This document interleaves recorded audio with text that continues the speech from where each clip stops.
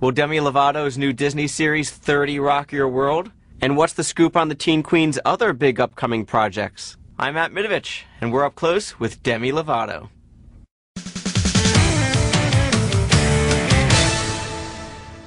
So I hope you can start off by helping me clean up a little bit of a mess I made a couple weeks ago when I was speaking to Selena Gomez. Yes.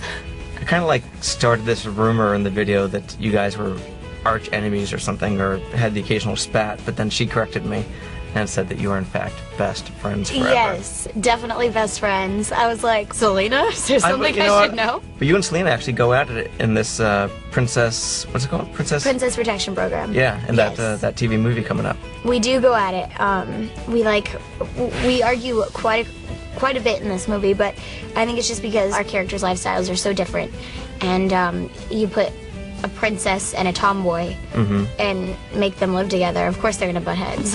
Is there a premiere date for that yet? no, there is not. Um, I believe that it will come out this summer on Disney Channel, though. Sonny with a Chance, your new show that's premiering February 8th. Yes. It's been through some title changes, right? Yes. First, it was like, welcome to Mollywood, welcome to Hollywood. Uh, It was like Sketchpad way in the beginning. Now it's Sonny with a Chance. And we're best describing it as like 30 Rock for the Clearasil set. Yeah. well, 30 Rock Disneyfied. 30 Rock Disneyfied. As we like to call it. yeah, it's a show about a show. And I play Sonny, who's this girl who gets to come to Hollywood and has the opportunity to be on her favorite comedy sketch show. So she's like totally ecstatic and she's faced with a lot of obstacles um, as she's trying to adapt from a Midwestern Wisconsin. So she's like a simple girl thrown into this whole Hollywood machine all of a Right. sudden. yeah, kind of like me. And then there's like what a uh, rivalry with one of the shows across the lot. her comedy show rivals with a very dramatic um, Mackenzie Falls set. So it's um, it's interesting to watch how things play out. Yeah, I saw some of the clips, and you kind of butt heads with the lead of Mackenzie Falls, Mm-hmm. who just happens to be rather hunky. Yeah, who just happens to be rather hunky and who just happens to know how to persuade my character very easily. so, I mean, he's a smooth talker, but she's smarter than that. Yet, I think that he's attracted to the way that she's smarter than him too at some point. So they they definitely butt heads, but I think they like each other. You're in the Jonas Brothers 3D concert movie. Yes. Or like backstage hijinks during the movie. Um, not that I can remember, although a lot of stuff did go down on tour, so I don't really remember if they caught any on tape or whatever. And then Camp Rock 2. What's the status report on that?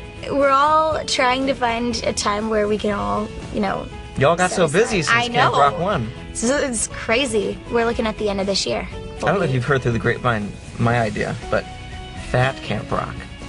So everybody goes to a fat camp.